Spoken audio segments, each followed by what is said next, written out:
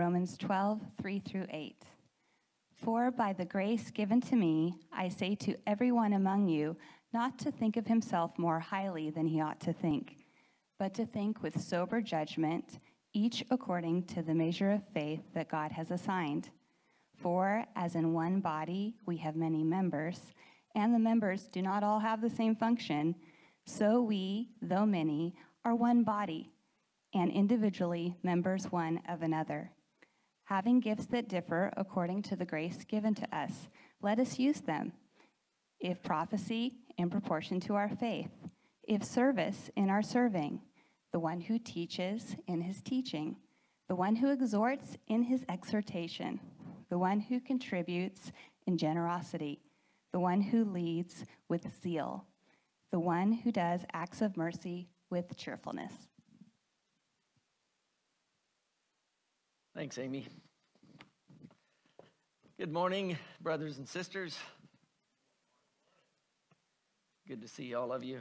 And uh, I really got a couple of special surprises this morning. And but, uh, this is no uh, criticism of anybody else's existence or place in my heart, but it was fantastic to see the uh, Hildebrands and the Woodworths here in service with us this morning. A couple of our missionary families that we've been supporting for many years.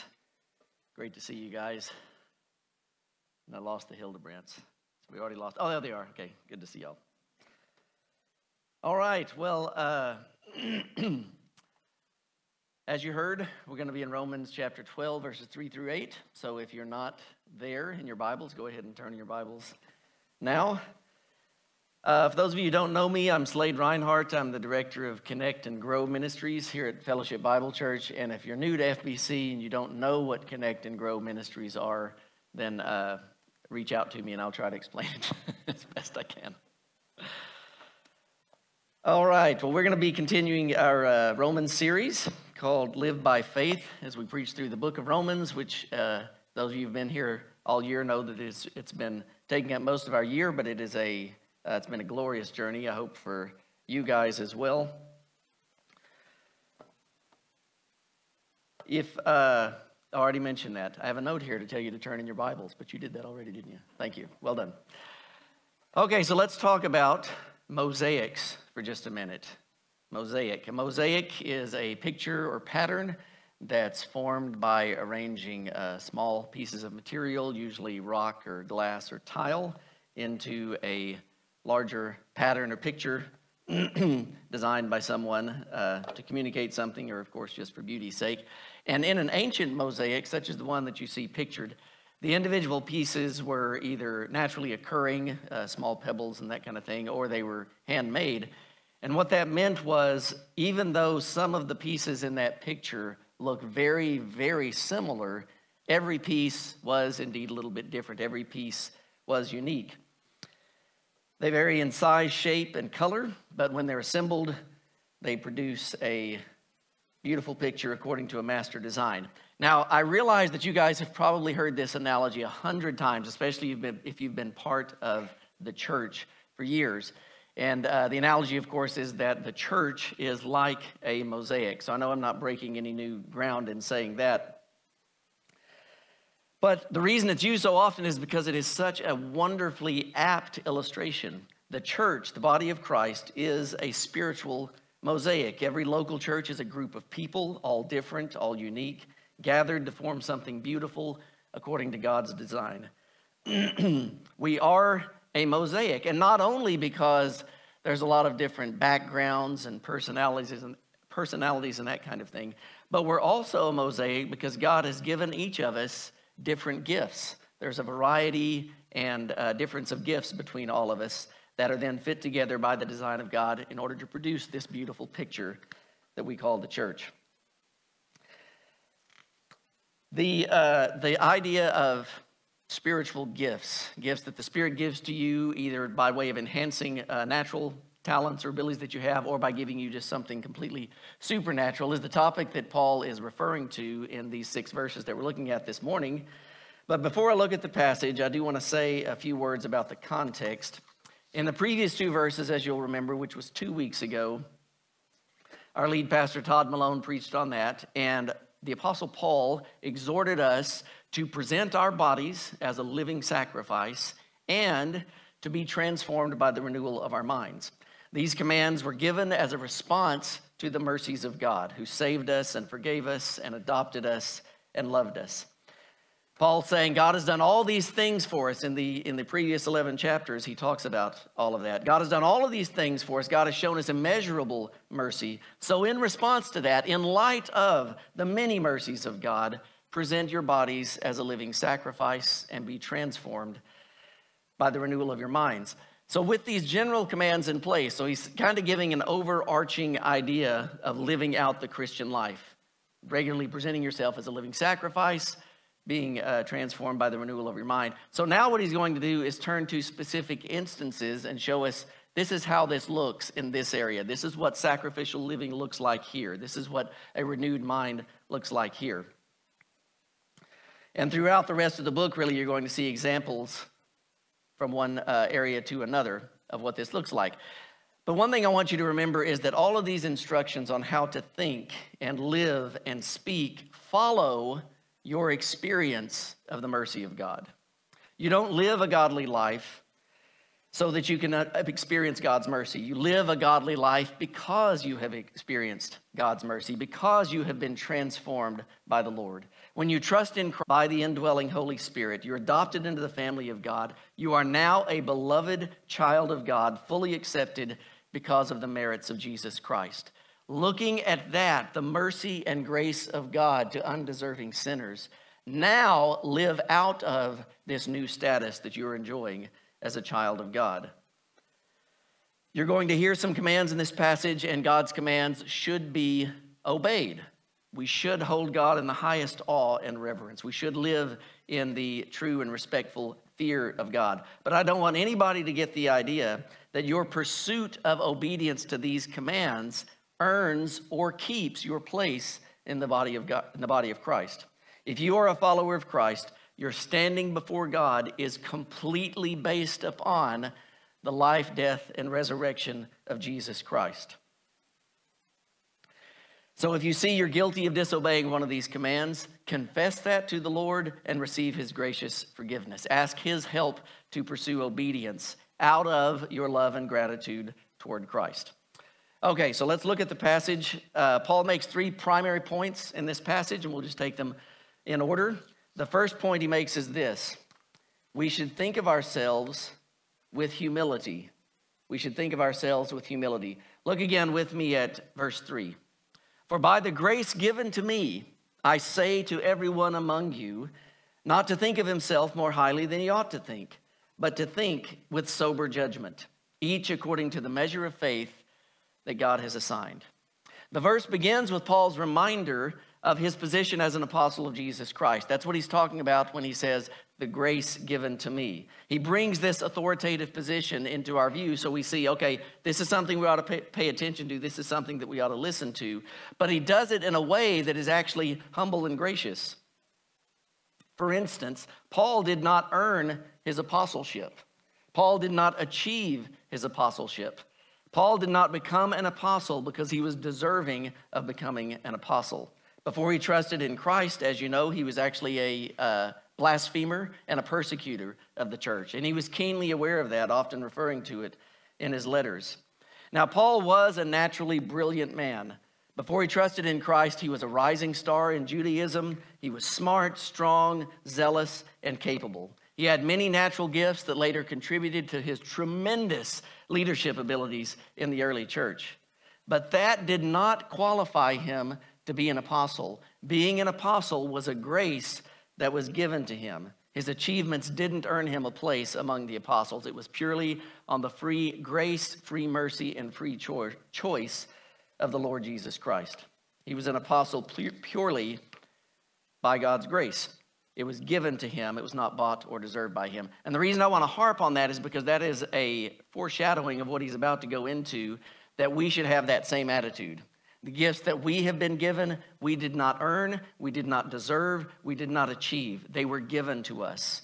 And that's what leads into this idea of being humble in our uh, estimation of ourselves. So he says, By the grace given to me, I say to everyone among you not to think of himself more highly than he ought to think. Don't think of yourself more highly than you ought to think. Don't be self important. Don't be prideful. Don't be arrogant. Now, why do you think that even needed to be said? I mean, are people naturally prone to arrogance? You can, anybody want to raise your hand? Kidding. Of course, we all are, right? All of us are prone to be tempted to pride and arrogance. He's talking about the gifts. He's about to talk about the gifts that the Spirit gives to the members of the body of Christ. So he starts out with this warning not to think too highly of ourselves because in the exercise of our gifts, we are even more prone to the temptation of self importance. Man, look at me, look at me. One reason I think this warning is given, since he's addressing the topic of spiritual gifts, if you have a gift that is very visible and public, you'll be tempted to think you're more important than others or that you're more favored than other believers. I must really be more gifted than the rest of the congregation because I get to preach the Sunday sermon, sermon nine times a year. I'm more important than most people at this church because I play guitar on the music team. I teach a kids' class every Sunday. I'm quite an impressive person. Now, none of us would verbalize those thoughts, but all of us are prone to going there with our attitudes. And I think we've all encountered believers, including ourselves, if we're honest, who have manifested an attitude of pride or self importance in their dealings with other Christians. We think we're more important or more gifted than other believers. And he says, Do not think too highly of yourselves, but think with sober judgment. What does that mean? Well, that final phrase in verse 3 kind of expounds that uh, idea of thinking with sober judgment. He adds, Each according to the measure of faith that God has assigned. Think of yourself according to the measure of faith that God has assigned. That phrase, measure of faith, could be understood as standard of faith. And I think Paul is saying that we regard ourselves by the standard of faith that God has assigned to us, meaning Christ Himself. He is the measure, the standard of our faith. R. Kent Hughes says this Paul is asking the believer to estimate himself according to his relationship to Christ. When one sees Christ is the standard of measurement, he will not think of himself more highly than he ought, but rather think of himself with sober judgment. We should think of ourselves with humility as we consider Christ. When you fix your thoughts on Jesus, you can't help but be humbled. Who could look with faith on the God man, the Messiah, the Savior, and at the same time think highly of himself? Hebrews says that Jesus is the radiance of the glory of God and the exact imprint of his nature, and he upholds the universe by the word of his power. Who would dare to contemplate such a truth and then say, Yeah, I'm pretty important too? By focusing your mind on the measure of faith, the standard of faith, which is Christ himself, you're getting the focus off of yourself and then getting a right valuation of where you stand in God's family, not above others.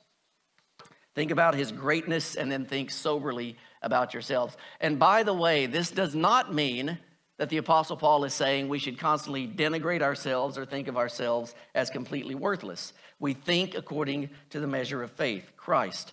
Christ, the measure of faith, bought us with his blood and loves us with boundless love. We are his people, favored, accepted, and beloved.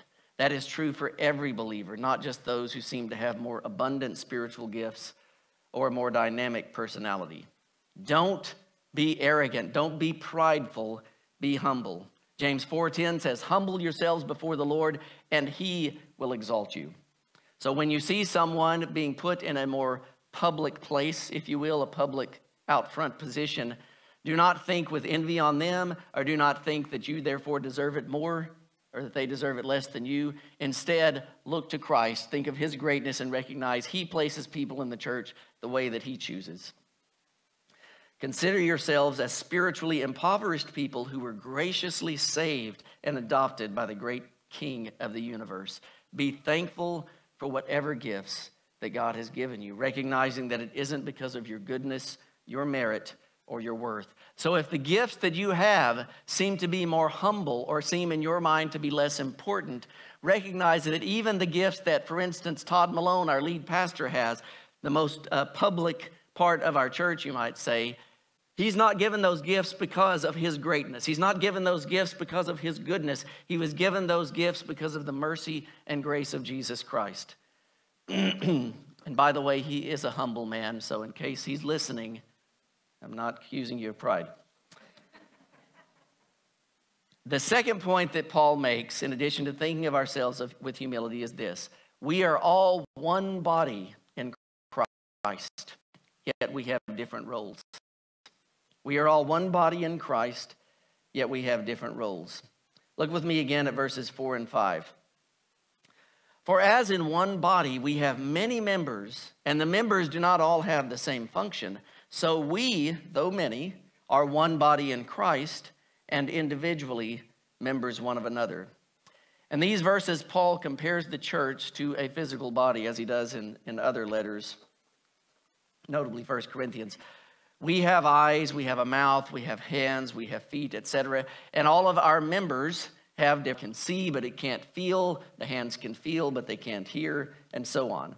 And in the same way, all of us who believe in Christ are one in the one body in Christ. And though many, we are joined to one another, yet we are also different. We also have different functions. We're all united to Christ, and because of that, we're all united to one another. We are bound together spiritually. He said, individually, you are members one of another. That means that we are interdependent. He's making the same point that he made in 1 Corinthians 12. The church is one body, and it's composed of many, many parts that have different roles. And because we're one body, every part has an interest in the state of every other part. For instance, 1 Corinthians 12 26 says, If one member suffers, all suffer together. If one member is honored, all rejoice together. Again, go back to the analogy of the physical body. If you have a backache, that is only one part of your body, but your whole body is suffering. You cannot separate yourself from your back and go, okay, I'm going to let that suffer in isolation and the rest of me go about my business. And in the same way, if you were honored, for instance, your, with your athletic prowess. Your physical body doesn't get separated from your intellect to say, okay, my intellect didn't get honored, it was just my athleticism. No, your whole person was honored. So in the church, it's the same way. We should care as much about our brothers and sisters as we care about every part of our physical bodies. And without saying it here, the implication is, is the same. Every member of the body of Christ is necessary. Now, Paul didn't say that in Romans 12 here, but it's a necessary implication. Every member is necessary. There is not one of you, believers, who is superfluous to this local body. Most of us have 10 fingers, and you, but you can get by with less. That doesn't mean that any of these 10 fingers are unnecessary. Most of us have two kidneys. You can live on one kidney, one kidney, but that doesn't mean that the other kidney is unnecessary. I realize that the analogy breaks down at some point, as all analogies do. Of course, it is possible for a human body to have unnecessary parts, but that is not true for the church. With regards to the church, this spiritual body that God has put together, every part is essential. Every believer is placed into the body of Christ by the good design of our sovereign God. No one is accidentally a part of the church. And when he mentioned in his analogy that the members of our physical bodies do not all have the same function, once again, he was highlighting the fact that our gifts are different. Our roles in the church are different. I don't have the same function as Alex Stanton in the body of Christ. Megan Turner doesn't have the same function as Lauren Gibson. There is a marvelous diversity of gifting in the church according to God's good design. And this diversity is brought about by our unity through our union with Christ. We're all one body in Christ, yet we have different roles. That also means, by the way, that we should give grace to those whose gifting is different from ours and we feel like they go about things in a way that is uncomfortable for us. I don't mean sinful, but you know how, I'll just be honest here, I uh, vulnerable about myself. There, there are certain ways I think that uh, people should teach the Bible. And when somebody teaches, is still bringing truth, and they teach it kind of in a way that feels like it's another path than I'm expecting, it kind of sets me off a little. I don't know if that's right. Uh, but, but of course, that's, that's my own sinfulness. They're going, okay, his gifting is different, and I shouldn't be bothered by the fact that he does things differently. I hope that's helpful. Uh, again, you, you, may want to email Todd about my, my heart issues.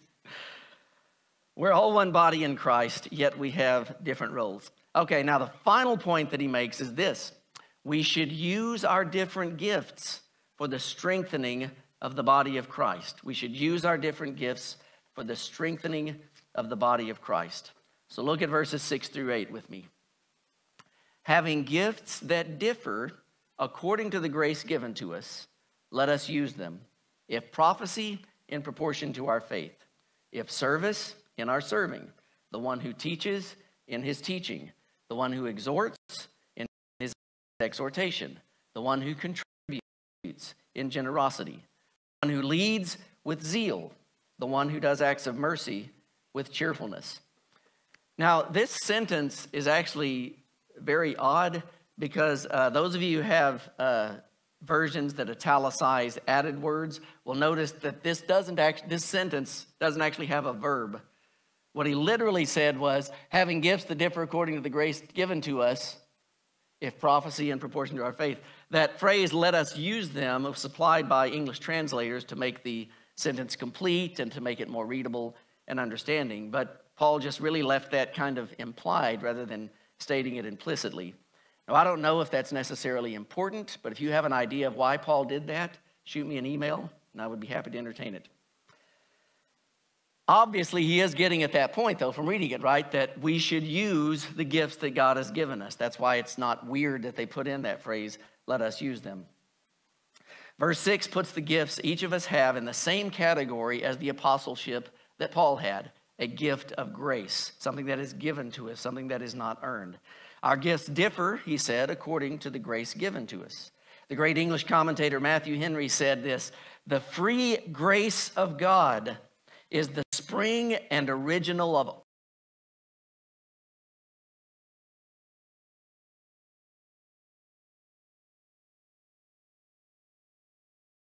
in it's humbly receive and rejoice in and be grateful for.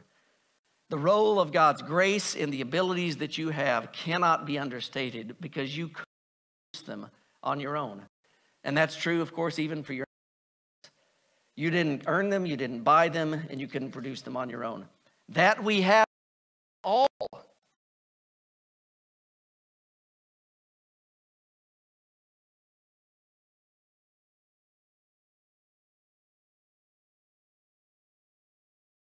Gifts. You know, like, let's go back to my uh, confession just a minute ago. If everybody did teach exactly the same way I taught, it would be a little bit boring, wouldn't it? Everybody would just sound the same. It would be a little bit robotic, maybe sound, seem too uh, formal and uniform.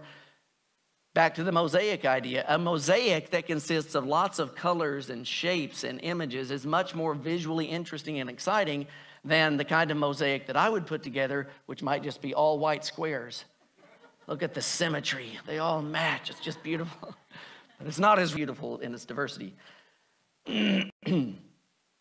Paul lists seven gifts in these verses that God gives believers, uh, but recognize that this is not a comprehensive list because other gifts, uh, because he mentions other gifts elsewhere. In fact, spiritual gifts are discussed in four different places in the New Testament. Here in Romans 12, in 1 Corinthians 12, Ephesians 4, and 1 Peter 4. And uh, one of the commentaries I read had this to say about that. A comparison of the gifts mentioned in each passage will illustrate the point that even by combining all four lists, and they had a great chart that I should have reproduced for y'all, so my apologies. But even if you combine all four lists, the intent of Scripture is not to arrive at an airtight list. Rather, the lists indicate some of the ways the Holy Spirit manifests the grace of God in the church. And I think that is an excellent way to understand the matter. In today's text, Paul is just giving a sampling of the Spirit's gifts and exhorting us to use them. If you have one or more gifts that are not mentioned in the list, the principle is still the same. Use your gifts for the strengthening, strengthening of the body. This list of gifts follows Paul's statement that we, though many, are one body in Christ and individually members of another. And so that re emphasizes the point that the Spirit gives us gifts in order to build up the body of Christ. Commentator J.A. Fitzmyer puts it this way Gifts have been given that with them Christians might serve one another. All charisms, which is a, a, spiritual gift, all charisms are graces that move Christians to action on behalf of others. You all, all you believers, all you brothers and sisters in Christ, you all have gifts. Every child of God has been gifted by the Spirit, divinely enabled to contribute to the health and vitality of the church. So use those gifts to strengthen the body of Christ. I'm going to take just a few minutes and go through these gifts that Paul lists. Hopefully, give you at least a better understanding of these seven gifts. The uh, first one that he mentions is prophecy. He says, if prophecy, it should be exercised in proportion to our faith. Now, prophecy, excuse me, is speaking God's to strengthen, encourage, and comfort. A New Testament prophet, like Old Testament prophets, was someone who spoke under direct divine inspiration. Their prophesying was to be done in proportion to our faith or in relation to our faith. The prophet's message must conform to, again, the standard of faith, who is Christ, his character, his work, and his message. If a prophet exercised his or her gift in a way that glorified themselves, and glorified themselves, I got the emphasis wrong there. I'll start that sentence again. If a prophet exercised his or her gift in a way that glorified themselves, they were not prophesying in proportion to their faith. They may have been saying what was correct, but they were still not prophesying correctly. If a prophet mixed their own ideas with God's pure truth, they were not prophesying in proportion to our faith. Everything they said had to align with the supremacy and sufficiency of Christ. Now, many Bible students understand preaching as well, since a preacher is speaking God's message, or he really should be. It's no reason to stand up here otherwise, right? Now, I don't believe anyone alive today, and, and there's diversity speaking of diversity, there's diversity of views on this even within our body, and that, that's fine. I don't believe that anyone today has been given direct divine revelation like the biblical prophets, so I wouldn't be comfortable calling someone a prophet in the biblical sense. But I agree that biblical preaching necessarily has a prophetic element to it because the direct message of God is being communicated. So I'm okay saying that preachers and teachers of God's word are engaging in prophecy. I may add that to my business card. We'll see. But just as with the biblical prophets, when you do speak God's message, it should be done in alignment with the Lord Jesus Christ. Now, after prophecy, Paul mentions service. If service, in our serving. In other words, if you have the gift of service, you use that by serving people. It seems so straightforward, doesn't it? But then when you, you, you read it, you see it in black and white, it really adds something. Service refers to doing what serves or helps others. Uh, one writer defined it as this an activity of a practical nature exerted in action, not in word. So typically, you, when it's talking about the gift of serving, you're not talking about a speaking gift, but actually a, a doing gift, a more physical gift. Cleaning up trash in the sanctuary is serving. Helping someone clean up their yard after a storm is serving offering hand sanitizer to people as they enter on Sunday morning is serving. It's a physical activity where you are meeting someone else's need.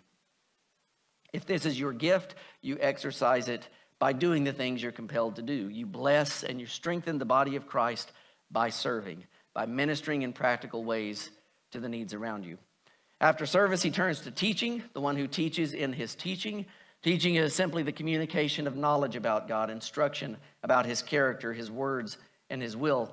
And this gift of teaching is not limited to just formal teaching like is happening right now, where I have a crowd in front of me and I have a prepared message that I'm bringing to you. teaching can and should be done whenever the opportunity presents itself. Dinner with a family in your small group, conversation while playing golf. Keep in mind, Jesus did a lot of his teaching of his disciples while they were just walking from one town to another. So, teaching is something that can be done formally and informally. And a person with this gift has a powerful desire to both understand Scripture and to pass that understanding on to others. After teaching, he mentions exhorting, the one who exhorts in his exhortation. Exhortation has two aspects. For one, education is bring I said education, didn't I? Exhortation. For one, exhortation is bringing comfort to those who are troubled or hurting, loving, lovingly bringing the Lord's truth to bear on their situation to give their spirit strength and peace. And let me say that does not mean simply uh, callously tossing a verse to someone who is going through a difficult time. Okay, that's why I added lovingly.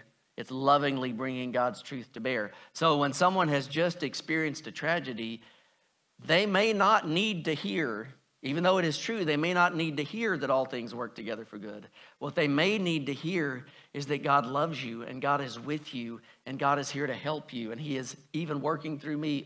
That would be bragging when God's working through me to help you. Don't say that.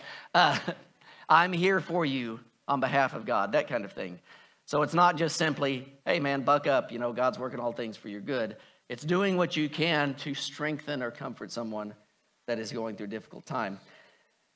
The second aspect of exhortation is encouraging people to live as Jesus taught, to live in step with the gospel. This can involve confrontation, exposing deception or pride or some other sin.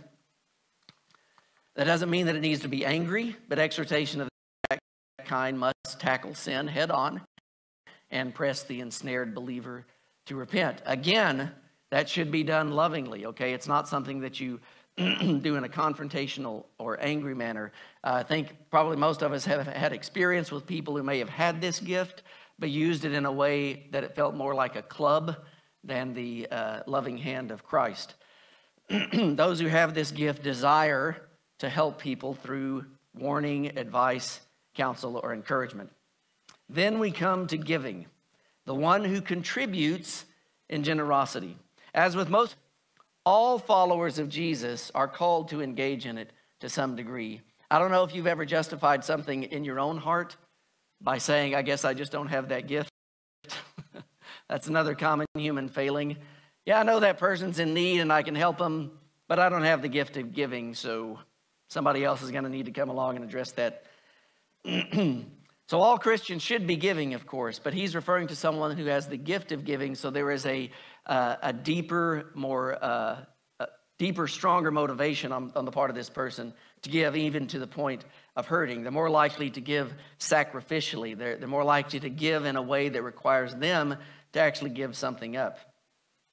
Paul wants those people to know that they should give in generosity or in simplicity. In other words, their motive for giving should be that person's good and the glory of God and not the accolades that might come for the generosity or the gratitude of the person that they're helping out. Uh, the poster children for this, of course, the, the perversion of this gift would be Ananias and Sapphira in the book of Acts. They saw that Barnabas gave and he was really praised and everybody just thought he was a great guy so they decided they would get in on some of that so they sold some land took some of the money and gave it and said oh yeah this man we just we sold this land that we had every penny were given to the church and just flat out lied about it. And of course, God uh, struck both of them dead. doesn't that doesn't typically happen? I realize. Uh, but the point being that if your giving is of the wrong motivation, if you're giving in order to receive the praise of man, in order to receive the gratitude of the person giving according to the standard of Christ. in, fact, in fact, let me uh, touch on that the gratitude aspect uh, again.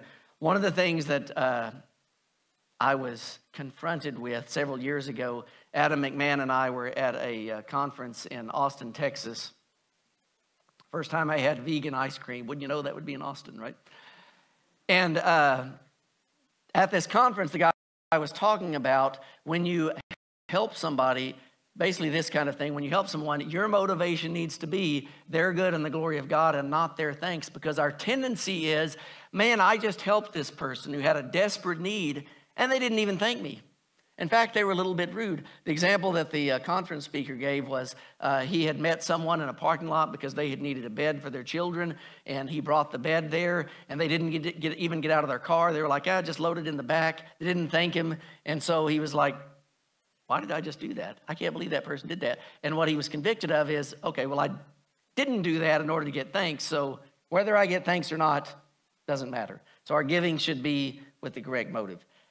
Uh, excuse me. The last gift mentioned in this passage is mercy. Wait a second, I skipped leadership. Let me go up one. Next on the list, gift number six leadership, the one who leads with zeal. The gift of leadership enables a believer to oversee or superintend others. The most obvious place for this gift is among the elders, since they oversee the entire local church, but it's also exercised in every level of ministry in the church kids' ministry, youth ministry, the encore ministry to senior adults, and so on. The Lord encourages leaders to use their gift with zeal. Don't be half hearted, don't be uh, lazy or passive. Zealously, enthusiastically lead others to glorify God. Now, the last gift. The last gift mentioned in this passage is mercy the one who does acts of mercy with cheerfulness. Mercy is kindness or concern that is shown for someone in need. If you have this gift, then you feel deep compassion when you see someone in need, and you have the urge to help them in any way that you can. The gift of mercy moves a person to action a kind word, a helping hand, sharing material goods.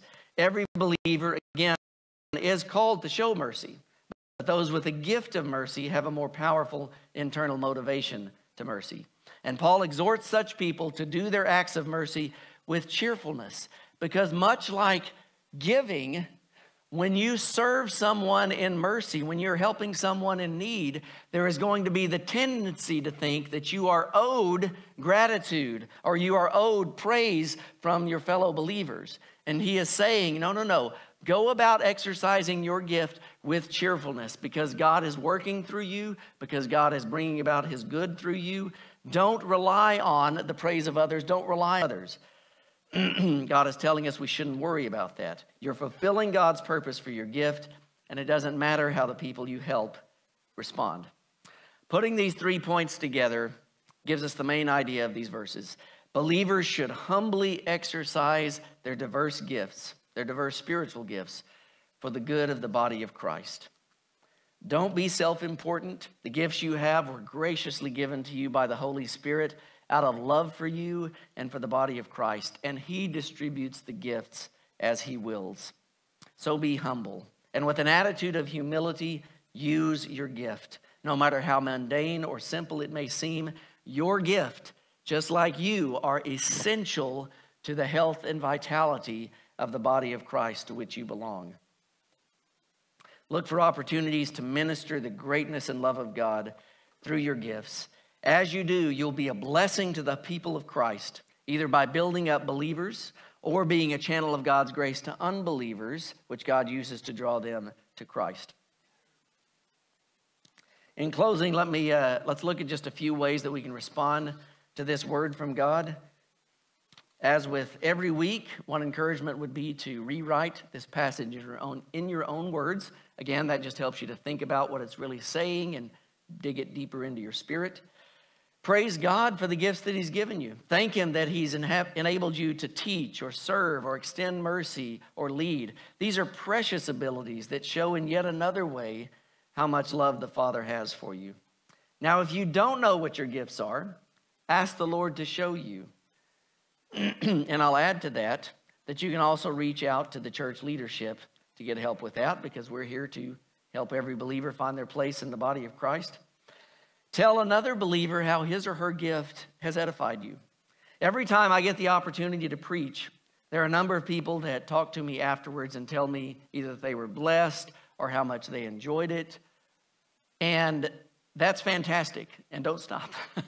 that's, that's a great encouragement to me. But I'm ta- thinking also of the people who, again, who aren't visible on Sunday mornings at our gatherings, uh, the people who do clean the, uh, clean the building, the people who keep the yard neat, uh, Mark Aron, who manages all of our facilities. and don't forget about the people whose gifts are exercised outside this Sunday morning gathering. You know, most ministry in any given church happens outside of this because this is this is an hour to an hour and a half out of 168 hours. Most of your life is lived outside of this gathering, and so because of that, most believers are exercising their gifts outside of the gathering, or they should be, of course. So thank the person whose gift for encouragement has helped you persevere through hard times. Thank the person whose gift for exhortation has helped you confront and battle a sinful habit. Thank the person who is helping to uh, keep the nursery clean and safe, watching kids, uh, even if they're screaming or crying, still showing them love and being patient. Let us hope. Just kidding. They are. Uh, thank God for the multitude and variety of gifts that God has given, and thank a brother or sister for exercising their gift. So I'll close this way. Every believer who has been bought with the blood of Christ, filled with the Holy Spirit, brought into union with all other believers, adopted for forever, and given an inter- inher- eternal inheritance, every believer has also been gifted by the Holy Spirit. So find your gift and use your gift. Let's go to the Lord in prayer. Mighty God, in the name of your great Son, Jesus, who alone is worthy, who alone is holy, who alone is perfect. In his name, we come to you and we lift up our hearts in gratitude and praise for bringing us together today, Lord. Thank you for loving us. Thank you for reminding us of your goodness and your grace and your salvation. And Lord, thank you for this word about the use of our gifts, for the unity and the building up of the body of Christ.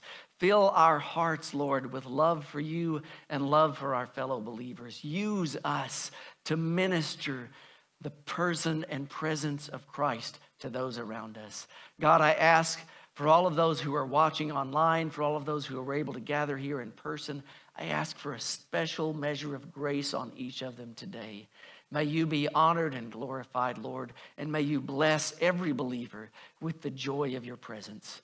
In your holy name, I pray. Amen. God bless you.